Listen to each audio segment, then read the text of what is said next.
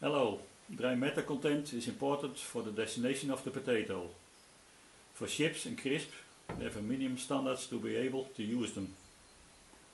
For consumption, it gives an indication of cooking type, and for starch potato, it speaks for itself. We determine dry matter by weighting the potatoes underwater.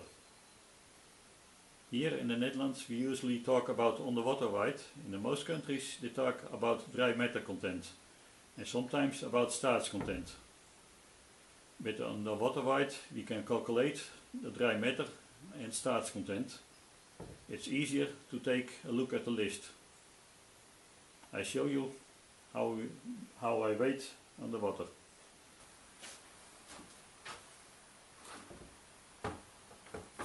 With the bucket on top and the basket in the water, the scale should be at zero. Then weight 5 kilograms and throw them in the basket. Bucket back on top of the scale.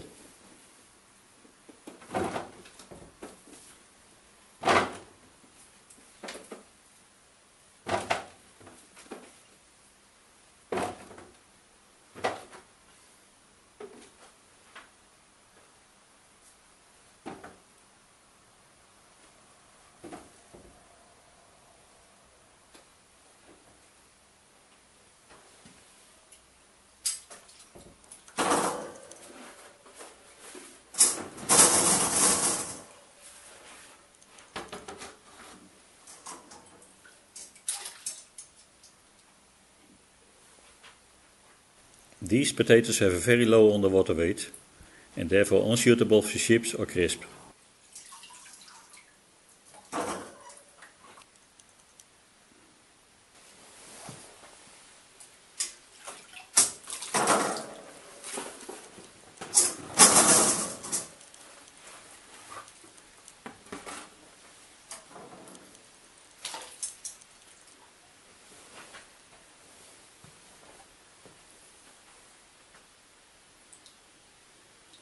At 448 grams, this is nice for the chips.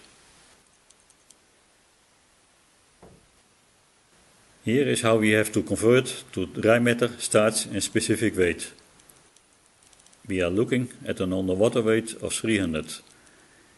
This has a dry matter content of 16.8%. The second sample was around 450 grams underwater weight and comes to more than 24% dry matter.